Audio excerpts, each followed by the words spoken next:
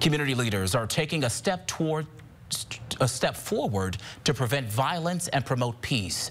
They marched through a St. Louis neighborhood this afternoon on a peace walk. First Alert 4's Kimberly Donahue spoke to those on this walk who say they're stepping toward future toward a future they want to create. Peace over violence.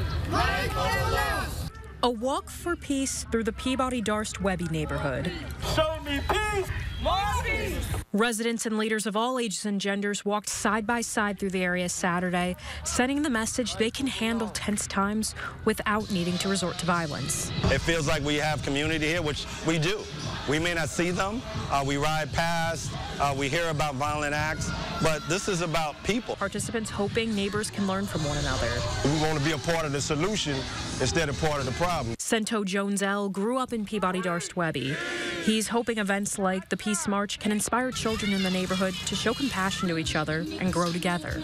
I've been to prison, you know, and I played a part in, you know, some of the stuff that goes on in this community, you know, years ago. So, you know, I'm just trying to be a part of the solution now. Because of what I've been through and what I have experienced, you know, maybe I can be that, that beacon of light, that beacon of hope that calls them to make some changes in their life.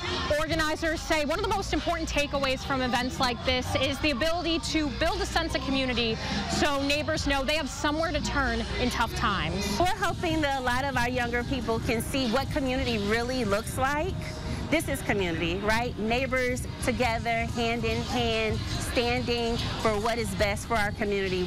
The more we can have events like this and have kids know that there are people working hard every day, that they can have uh, a fun and have, you know, safe space provided to them, that it pulls them away from maybe being connected with people who are intent on committing violent acts. In St. Louis City, Kimberly Donahue, First Alert 4.